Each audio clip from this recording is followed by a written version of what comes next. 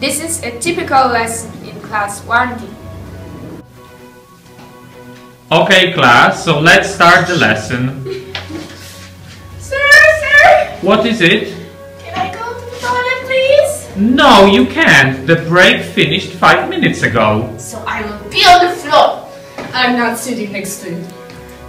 Okay, class, open your books on page 51. Na której stronie? 51. Czyli 15! 5 and 1. 51. No 51. To niech się pan zdecyduje. 51. Okay, who can read the text? Okay, so please start from the beginning.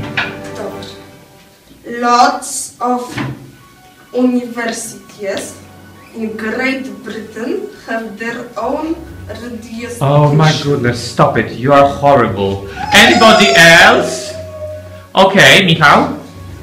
Lots of universities in Great Britain have their own radio station. Okay, thank you. What are you doing now? Yes, I didn't.